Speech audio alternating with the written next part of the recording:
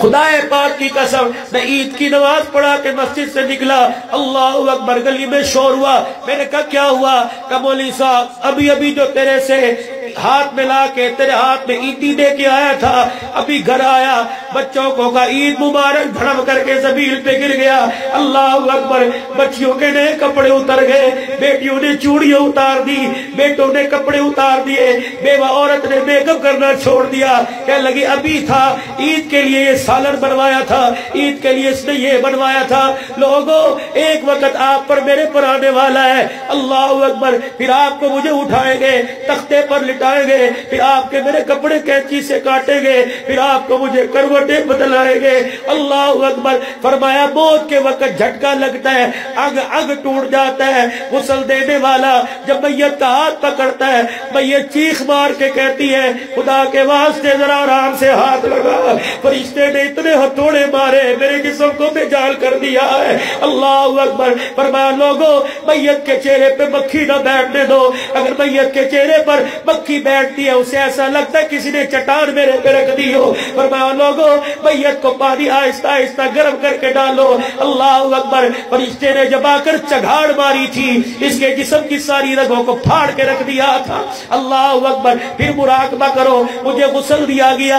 मेरे सजदे वाली जगह पर का फूल लगाया गया। फिर मुझे कफल पहनाया गया।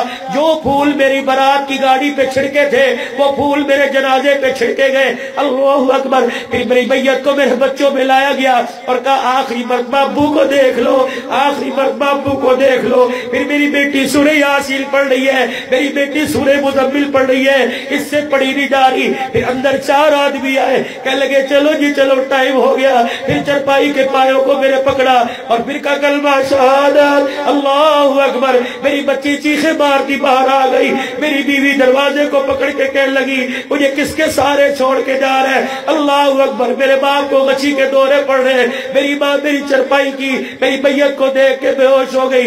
इन गलियों से जनाजा गुजर रहा है। जिन गलियों में देख के लोग मुझे सलाम किया करते थे, लोग सलूट मारा करते थे, इसी गलियों से जा रहा हूँ। अल्लाह अकबर, फिर जनाजगा के अंदर मेरा जनाजा रख दिया गया। अल्लाह गनी, फिर आवाज़ लगी, जल्दी जल्दी आओ, दीदार कर लो, जल्दी जल्दी आओ, दीदार कर लो। मेरे अपने भी आए, मेरे पराए भी आए, इधर कोने से हटो, बच्चों की आवाज़ आई, कौन आ रहा है? छोटा बच्चा अब्बा को देखने के लिए आ रहा है। अल्लाह अकबर, फिर मेरे यतीम को मेरे सराने खड़ा किया। एक उसके सर पे हाथ फेर के कहते, बेटे अब्बू को आखिरी मरतबा देख ले, बेटे अब्बू को आखिरी मरतबा देख ले। फिर मौली साहब ने कहा, चलो सफ़ेद दुरुस्त कर लो। फिर सफ़ेद दुरुस्त करने के बाद, चार तकबीर नमाज़ जनाजा का अल्लाह